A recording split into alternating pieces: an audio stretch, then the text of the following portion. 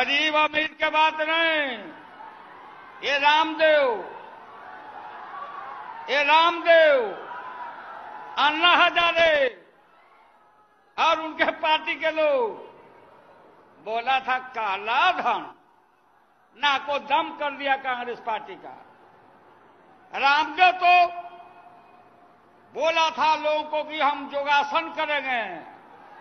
रामलीला मैदान में। आज जब पुलिस आई तो कुदासन कर दिया। यह लड़की का कपड़ा पहन के भागा, ब्लाउज फरवा कर मैडम को मालूम ये सब बोला, काला धन काला धन काला धन काला धन। और सब कांग्रेस के नेता का नाम लिख के बोला कि साढ़े हमारा मेरा भी नाम लिखा।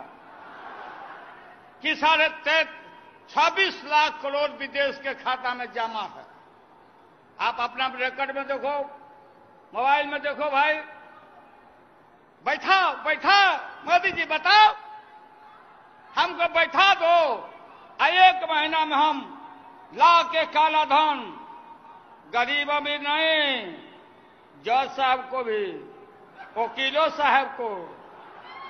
वरिष्ठों साहब को नेता लोग को भी सवा सौ करोड़ भारतीयों को कहा था कि हम साढ़े पंद्रह पंद्रह लाख रुपया जमा कर देंगे।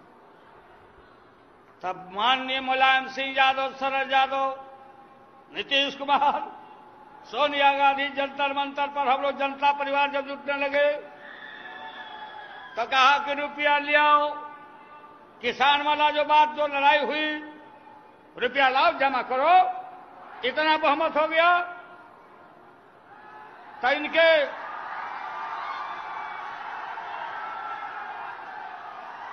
हमको भी फ़ायदा होता। हमारा, हमारी सात बेटी, दो बेटा। और लालू और राबड़ी ग्यारह। और साढ़े पंद्रह से गुना कर दो। तो एक करोड़ कै लाख हो जाता, बैठ के चावते रहते हम लोग। मोबाइल में निकाला, मम्मी, बचवा सब ठगा गया। मम्मी अच्छा दिन। साढ़े पंद्रह पंद्रह लाख रुपया। अरे भाई यह शाह जी बोल दिया कि ये तो जुमला था जो नीतीश कुमार चारों तरफ़ बोर्ड पर लिखे हुए हैं। औंगली से बता रहे हैं। सब हम लोग पूछ रहे हैं, कल जुमला था। झूठ बोल के आए थे अमित शाह बिहार में। जब दाल गायब हो गया, प्याज गायब हो गया तो लोग बोल कि महँगा हो गया। तो अमित शाह बोलते हैं कि योगासन करो, सूर्य नमस्कार करो तो बिहार के लिफ्ट में ऐसा फंसे। अभी अमित शाह आए थे। इतना मोटा पेट चढ़ हुआ। आए घुसे लिफ्ट में। आधा घंटा तक वही में अटके ही रह गए। करो योगासन